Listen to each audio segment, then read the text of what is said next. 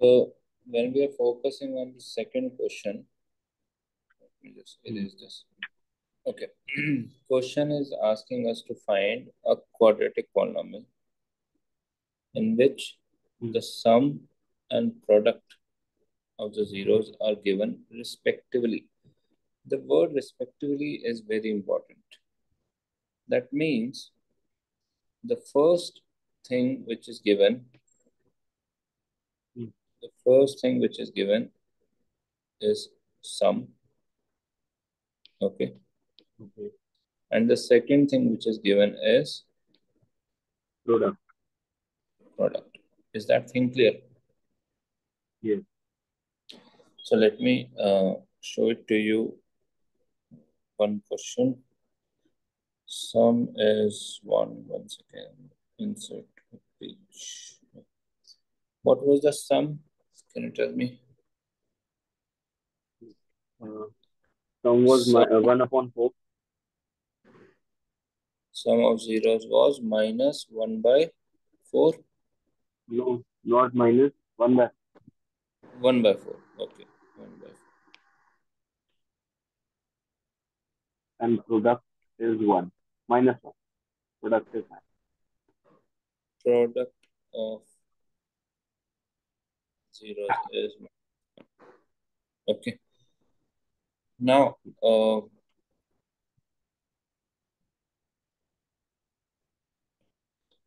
so over here, do you remember what is the formula for sum of zeros? Yes, b upon. Sorry, minus. Minus b upon. Minus b upon a. And what is the formula for product of zeros? C upon a. C upon. So in this formula, always remember one very, very important thing is uh, denominator should be same. Okay. okay. Denominator should be same. If denominator is 1, perfect. I don't mind. But whatever is the denominator, it should be same. Otherwise, make it same. If not,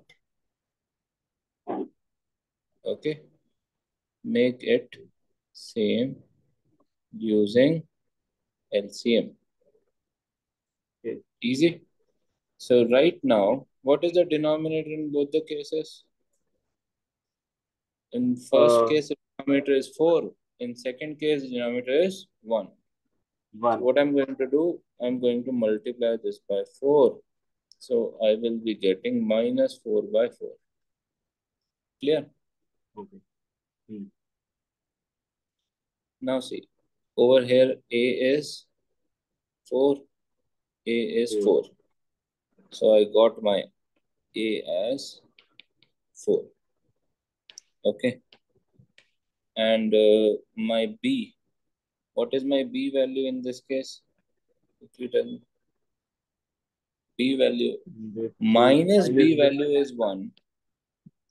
Minus, minus B value is 1.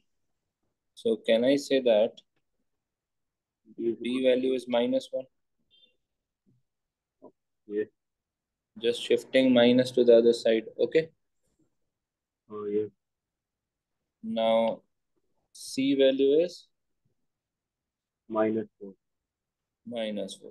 So always remember A, B, C should be positive. So their answer can be negative, but A, B, C in itself should be positive. Positive. So I got A, B, C. Now what is the quadratic equation, quadratic polynomial form? AX square. Uh, standard form. AX square plus BX plus C. Yeah, that's a polynomial. Do not write equals to 0 because that's an equation. Now, we'll just substitute the value. A value is 4. B value is, sorry, B value is minus. So, minus 1x and C value is minus 4. If somebody is writing 4x square minus x minus 4, that person is also correct. Okay. So this is one of the equation. It is one of the equation. When I'm saying one of the equation, what do I mean by this? So I'll try to explain that. So what has happened, if I give you two points Hmm. on a graph, if I give you two points like this, Hmm. what do you think? The, these, what are these? What are these points? Zero. Very good. These are the zeros. Now, what do you think from these two points? How many quadratic polynomials can go? Like, what is the graph of a quadratic polynomial? Remember in the first class we discussed? What is the name of the graph? What is the Uh, name of the graph? It was uh, parabola. parabola. Yes. Parabola. So can you tell me how many parabolas can pass through these two points? How many parabola? Yes. Only one parabola. But, um, I can see so many parabolas can pass through these two points. Some can go a little bit higher. Hmm. Is it making sense? Yes. So if I'm giving you two points, I need one more point to confirm which one is which. Whereas that is not the question they are asking. So actually by solving this thing, we are getting family of parabola. That's why we write k in the beginning. Okay. Okay. Is it making sense? Yes. Because we sincerely don't know which parabola we are talking about. We know it is known as family of parabola. That's why we write k in the beginning. Okay. Some teachers don't write it, ignore it. But let me tell you, your NCERT book itself is telling you this thing that you should write. Can you see this thing? They have given example number four. Find a quadratic polynomial whose sum and product are given. So they found ABC and they wrote the condition. Hmm. Okay. And they are writing one Okay. quadratic polynomial. Can you see? They are writing one quadratic polynomial fit the condition, this thing. And in the next line, they are again writing this thing. You can check that any other quadratic, quadratic polynomial that fits the condition will be of the form k. k is real. Okay. Understood? That means there is some value of k which can also pass through the same two points.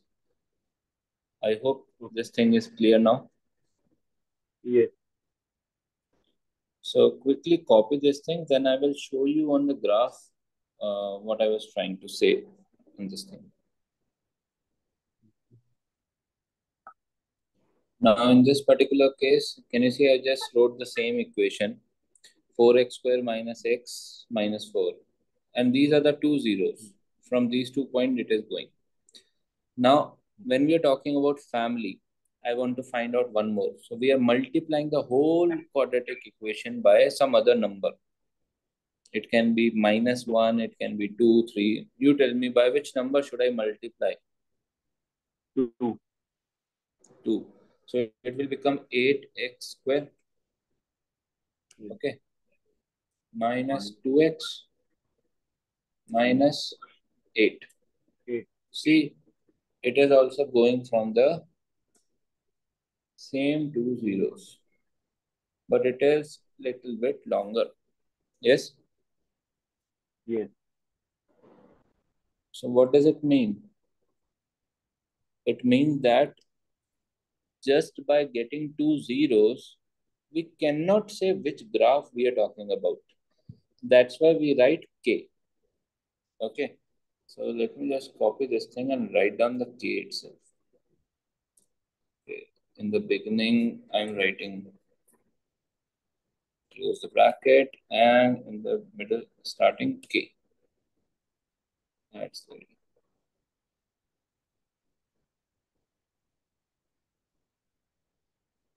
Just see, I'm just changing the K value. And can you see the graph is changing up and down? Yes. But but it is passing through the same two points. Can you see that? Yes. I'll just zoom out for you so that you can see it clearly. So that's why I'm saying there are thousands of parabolas going through these two points, but uh, they have the same solution, same zeros. So I'll just stop it over here. I hope you understood why what I'm trying to say with uh, family of parabola. So as you said, we'll do third, 0 and uh, root 5. So what is 0 in this case? In our question. 0 is? 0 and root 5. Sum of zeros. Okay, sum of zeros. Is 0. And product of zeros is root 5. Okay. And we know that sum of zeros formula is minus b by a.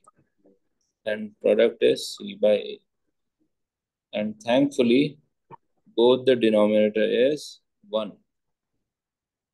Okay. So therefore, my a value becomes 1. B value becomes? B value becomes 0. Minus minus a minus b becomes 0 so b becomes 0 and c value becomes root 5 therefore quadratic equation ax square plus bx plus c quadratic polynomial sorry so 1x square plus 0x plus root 5 so the quadratic equation will become x square plus root 5. So this is my end quadratic equation. But do not end over here. Don't forget to write k. K means family of quadratic equation. Is the family of quadratic polynomial. Okay. That's how you need to present this work. Based on this thing, I will send you one uh, worksheet. You have to do that.